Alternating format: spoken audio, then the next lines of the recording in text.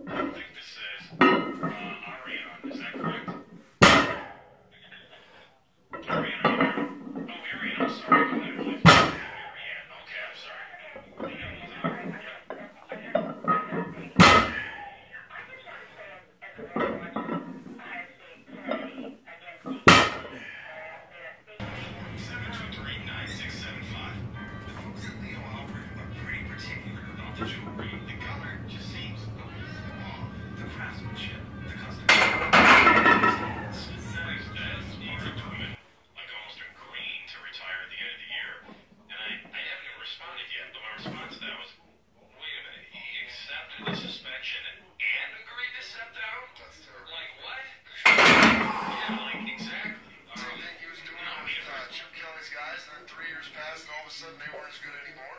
And so, yeah, eventually, Ryan, you'll find out whether he's good at doing everything.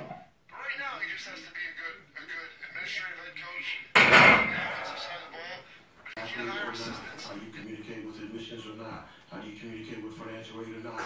The fact that you coach and you do not do anything medical, that doesn't, that's not the same everywhere. And so, um, Urban took, you know, to help me, Urban, maybe less than two years to kind of adjust to a new culture on how we operate. And he helped us improve some things. And Ryan has lived it. He's seen it. And so, um, one of the greatest responsibilities uh, of a coach is personnel management. There's over 70 people in the Woody Hayes Athletic Facility. So, for us to have, Could you imagine being that age and taking over Ohio State as a first-time head coach? and What that might be like? No chance. Also get, uh, you know, I wasn't knee deep in it like he was, you know, he, he was, uh, he earned a lot of, uh, responsibilities that I gave him over the years, and then obviously he was the, he's three and oh as the coach already before we start, and, uh, he's very unique. This might be for both Urban and Ryan.